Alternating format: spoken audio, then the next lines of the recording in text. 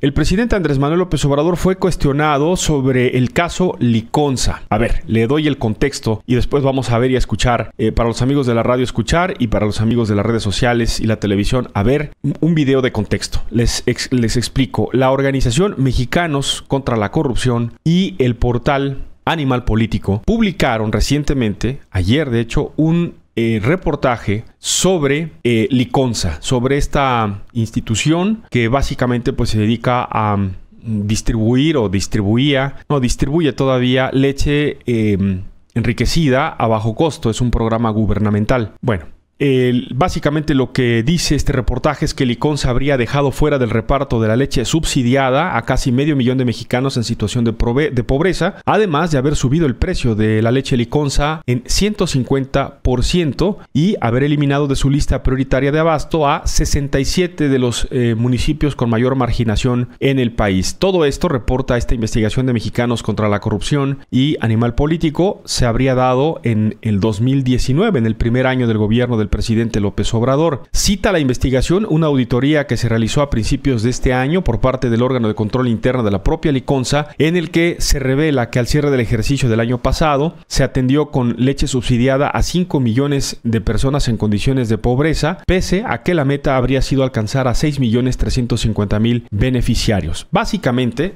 de manera central, es eh, los, temas que, se, que señala el reportaje. Eh, más de medio millón de mexicanos se habrían quedado sin cobertura de leche liconza y los que lo tienen tuvieron que pagar este año 150% más en el precio de ese producto que está subsidiado, leche, por parte del gobierno. Se publicó un, un video, vamos a ver y escuchar una parte, dura dos minutos, vamos a escuchar una, una parte de este, de este video que recupera justamente este reportaje que complementa la investigación que hoy se, se aludió y sobre la cual fue cuestionado el presidente.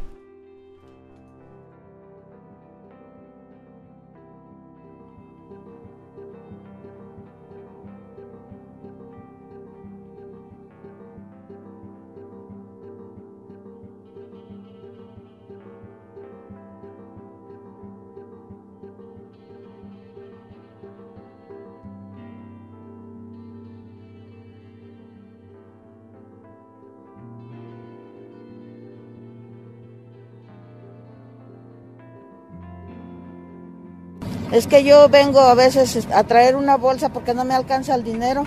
También como no tengo refri, se me echa a perder la leche y llevo una bolsa nada más. Tiene como, no sé si dos o tres semanas. a mí me toca una vez nada más a la semana, me toca los lunes.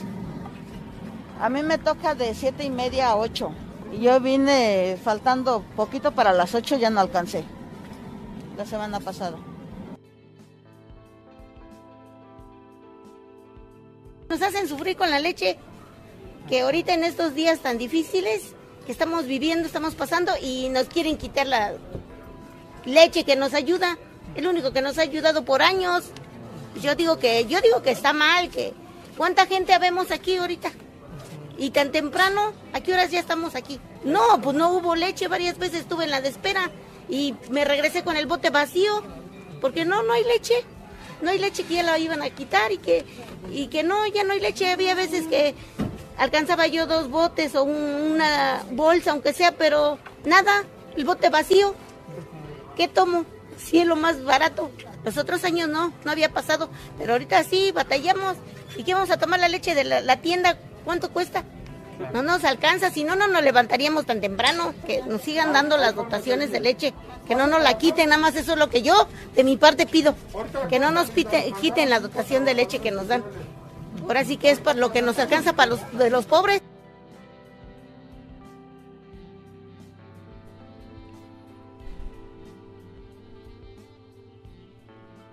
Bueno, pues ya les digo, es parte del, del material eh, audiovisual que le ha dado sustento a esta muy amplia investigación que ha sido documentada a partir de información oficial proveniente de la propia Liconza. Además de este tema de la afectación que pudieron haber tenido las personas de escasos recursos que accedían a esta leche subsidiada, eh, se reporta además que eh, la Liconza le dio contratos a un ex empresario, bueno, no un, no un ex empresario, un empresario que fue muy cercano cercano al expresidente Enrique Peña Nieto en el rubro de publicidad, fue uno de los publicistas preferidos de Enrique Peña Nieto y ahora es uno de los distribuidores consentidos de Liconza. Sobre esto fue consultado el presidente López Obrador en la mañana y dice que intervenga la función pública. Fue toda la respuesta del presidente, que se investiguen los contratos y punto. No hubo mayor expresión del presidente, no hubo mayor comentario sobre el tema. Que investigue y que intervenga la Secretaría de la Función Pública es lo que dijo el presidente desde Tamaulipas.